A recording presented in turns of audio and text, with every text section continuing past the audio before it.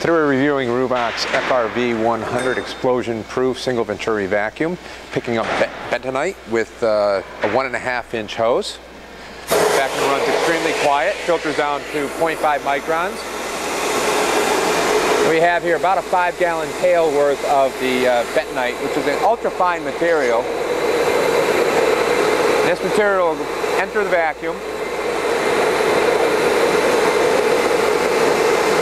as you'll notice, this is a really fine, fine dust. And our filters aren't going to blow any of this material out. We're filtering down to 0.5 microns. But even better, we're not going to clog the filter. So even after we suck up all this material, we have plenty of suction to keep going and suck up uh, more material without having to do a filter change. Your only maintenance is going to be done on the outside of the machine. As you see here, just with an inch and a half hose, and you could run a two inch hose on this, no problem. So we picked up about the five gallon pail in less than a minute. And you can easily uh, couple on a floor tool to get the remainder off the floor.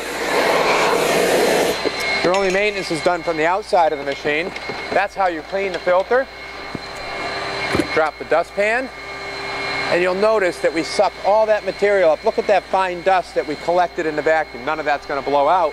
But more importantly, we didn't actually blow any out into the atmosphere. So we stop the dust, we contain the dust, and that's the only maintenance you require. And you can start sucking it up again. So no loss of suction picking up this material.